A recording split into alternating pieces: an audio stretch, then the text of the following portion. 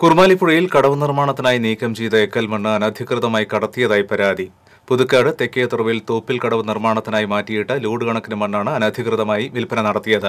M L എയുടെ ആസ്തി വികസന ഫണ്ടിൽ നിന്ന് നാലര ലക്ഷം രൂപ ചെലവിൽ നിർമ്മിക്കുന്ന കടവിൽ നിന്ന് ശനിയാഴ്ച മുതലാണ് മണ്ണ് നീക്കം ചെയ്തത്. ജെ സി ബി ഉപയോഗിച്ച് നീക്കം ചെയ്യുന്ന മണ്ണ് ടിപ്പറുകളിലാക്കി കടത്തുകയായിരുന്നുവെന്ന് നാട്ടുകാർ ആരോപിച്ചു.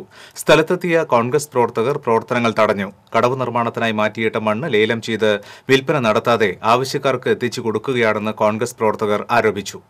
ഇതിന്റെ മണ്ണ് ഒരു പൊതു സ്ഥലത്ത് കൂട്ടിയിട്ട് ഒരുമിച്ചിട്ട് അത് അളന്ന് തിട്ടപ്പെടുത്തി ലേലം ചെയ്യേണ്ട മണ്ണ് ഇവിടുന്ന് എടുത്തു കൊണ്ടുപോയി മറ്റുള്ളവരുടെ പറമ്പുകളിലേക്ക് അവരുടെ ഇഷ്ടക്കാരുടെ ഇഷ്ടമുള്ളവരുടെ പറമ്പുകളിലേക്ക് മാത്രം മടിച്ച് ഇത് പഞ്ചായത്തിന്റെ ഫണ്ട് നശിപ്പിക്കുന്ന രീതിയിലുള്ള പ്രവർത്തനമാണ് ഇവിടെ കാണുന്നത്.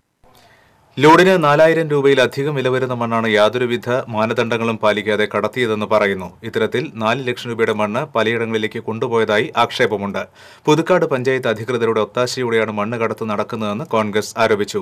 കടവ് നിർമ്മാണത്തിന് ചുമതലയുള്ള ഉദ്യോഗസ്ഥർ സ്ഥലത്തെത്തുന്നില്ലെന്നും പരാതിയുണ്ട്.